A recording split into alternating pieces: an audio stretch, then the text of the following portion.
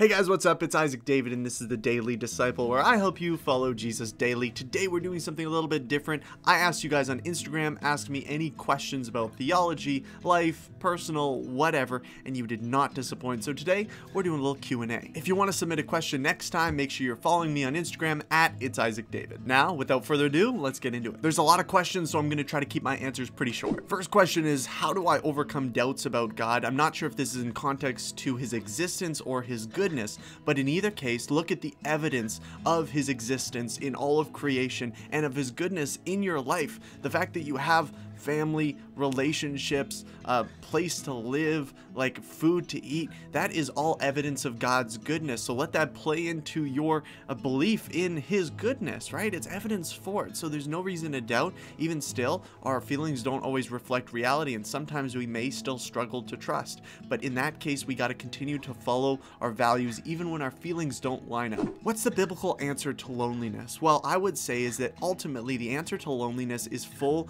connection connection with God and intimacy with Jesus. When we experience loneliness, that's an aspect and a result of the fall because our connection with others and with God was broken off.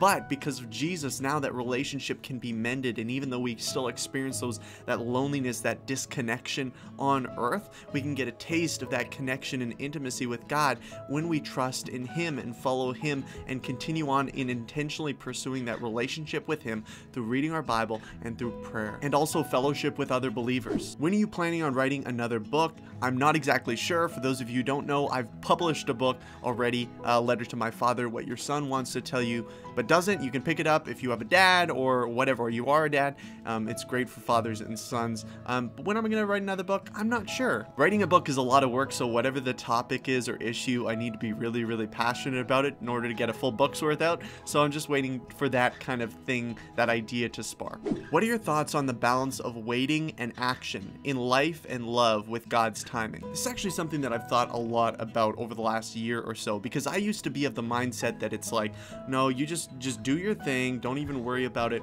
and eventually God will present you in terms of like a romantic relationship. He'll present you with somebody and it'll all be good. But we don't treat a lot of other things in life that way. We don't treat like having food, right? We have to go work for food. We have to go out. We have to do things in order to live our lives. We don't expect God to just put it in front of us. And I think that's the same way with relationships. I don't think we should be desperate or forcing anything to happen, but I do think we should be intentional in uh, engaging in friendships and relationships, being intentional in community, and leaving opportunity for those I don't know, connections to be made and for those relationships to um, flourish. What does that look like practically? I think that means intentionally getting in a community with guys and girls, people from the opposite gender, and um, forming friendships with them. And I, that doesn't mean forcing anything or like you have to be with this person, but it does mean intentionally spending time with people to, uh, to really like, I don't know, invite and open those opportunities up.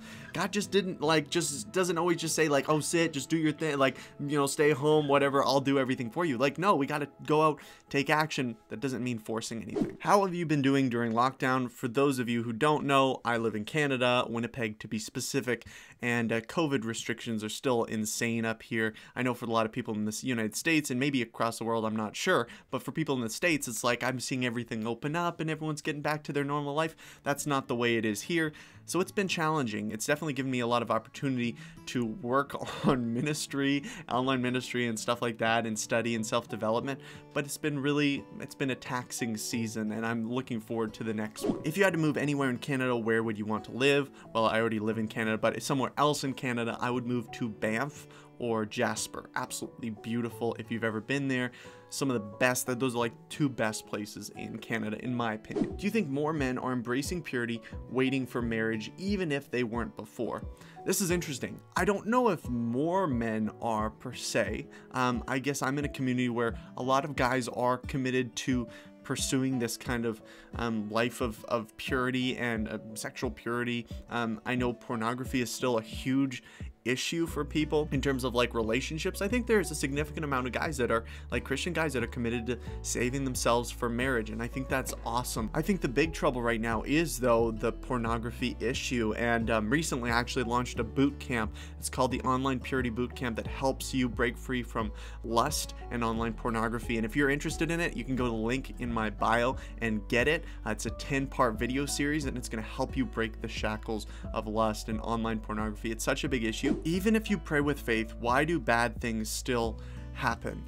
This is the biggest the biggest question I feel like we all have to deal with is even though we have faith, why doesn't God just fix things? Like why doesn't God just make people healthy that we pray to be healthy?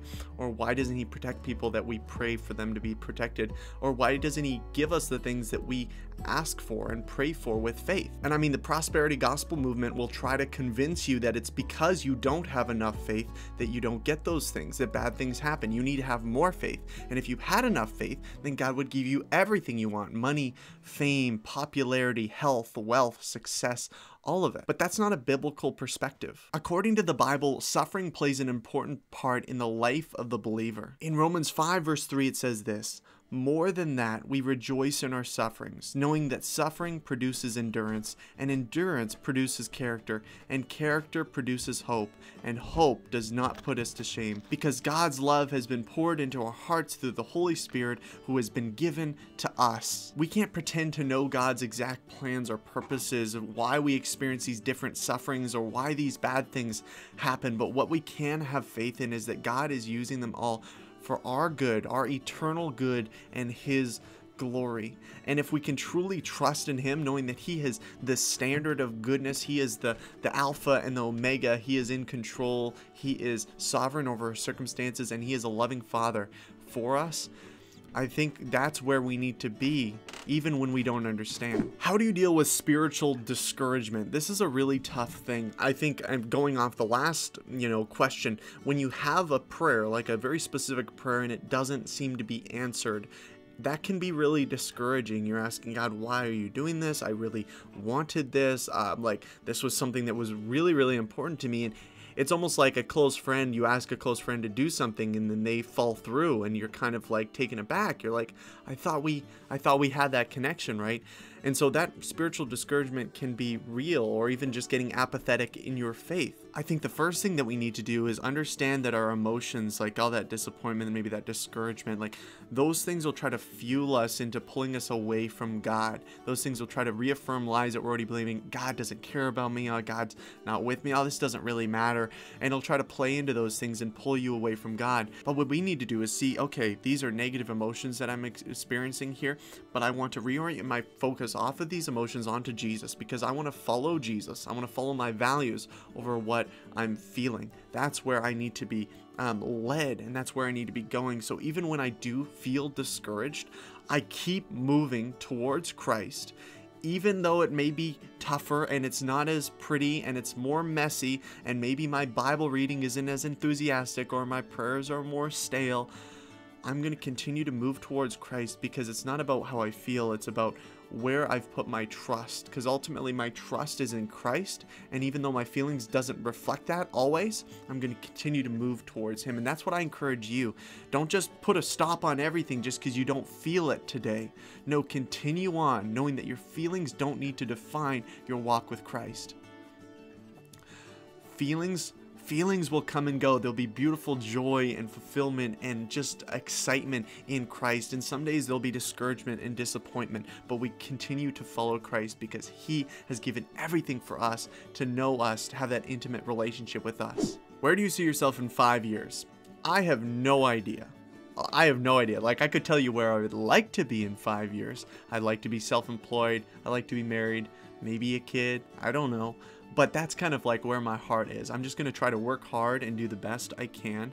Um, even though feelings of insecurity and not measuring up come up quite a bit, I'm still going to press on and um, and we'll see what happens in the next five years. But yeah, that's where I'd like to be. I'd like to be doing Daily Disciple and Redeem 180. For those of you don't know what Redeem 180 is, you can follow it on Instagram at Redeem underscore 180. I'm pretty sure, or just at Redeem 180. Um, but that's an organization all committed to helping the everyday Christian use their social media platform for Jesus and just daily disciple helping you follow jesus daily. Like some of those ministries man though that is my life right now. That is what i'm so committed to. And and when i'm able to do that full time um i will be like so thrilled with that. That's where i see my my myself in the next five years maybe in a relationship maybe married. Um yeah but i mean ultimately i think we can get so out of hand with these five year plans 10 year plans this is where i want to be this is where i'm going and i used to be really obsessed with that um, but then I just realized that all of those things, every time I made one, it was just total like not true. God led me in a different direction or He moved me in a different way. And ultimately, we don't know. And so I'd rather um, be responsible, plan for the future, strategize, do all that, yes, but also know that you are following Christ. You're not following your own plan, your own strategy, your own desires, your own dreams. You're following God's dream for you, and that's going to be the best thing for you. You can trust Him in that. Okay, I don't want to make this video too long, so if you have another answer to one of these questions, leave it in the comments down below. I'm sure people would love to hear from you. Thank you so much to all my patrons on Patreon. There is an amazing 40 patrons on Patreon. The goal is to get to 50. Um, so if you can help and support on a monthly basis, five bucks a month, and uh, you can join on Patreon, that would be absolutely amazing. Link in bio to do that. Thank you so much, guys, for watching, and I will see you next time. God bless.